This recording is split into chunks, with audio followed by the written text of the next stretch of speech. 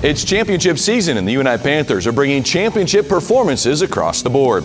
Today, we look at the All MVC performers and an MVC tournament victory for the men's basketball team. We look at records that fell to the speed of the UNI track and field team at the indoor championships.